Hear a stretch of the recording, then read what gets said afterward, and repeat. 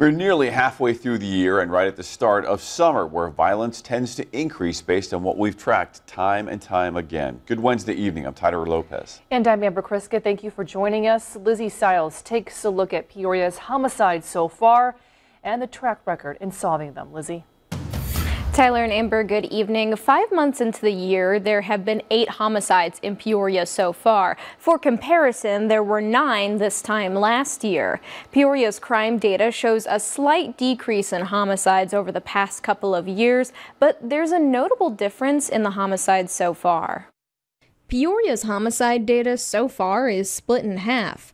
Half of Peoria's homicides this year are the result of people being shot, while nearly all of Peoria's homicides last year were related to gun violence. There's been four other violent deaths in Peoria, two stabbings, and two instances of blunt force trauma. The most recent was a 14 year old who hit 50 year old Tony Collier with a cinder block. The other split the solve rate. For four of the eight homicides, police have either arrested suspects or are looking for them. Two of those arrests stem from women attacking their partners. 22 year old Heaven Cruzan is accused of stabbing her boyfriend.